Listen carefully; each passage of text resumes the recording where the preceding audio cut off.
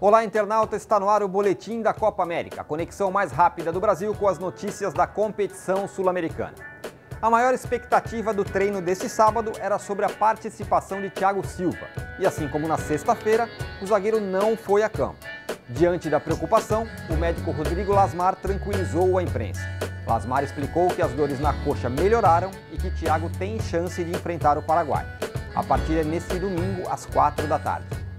Caso o zagueiro do Milan não tenha condições de atuar, o favorito é Davi Luiz. O atleta do Chelsea foi titular de Mano Menezes nos primeiros amistosos.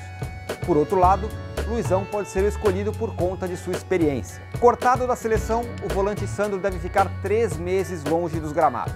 O jogador do Tottenham operou o joelho esquerdo nesta sexta-feira e este seria o período de recuperação.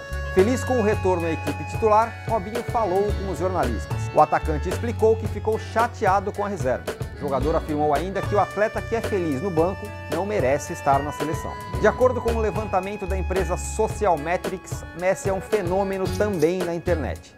O camisa 10 é o jogador da Copa América mais buscado na rede.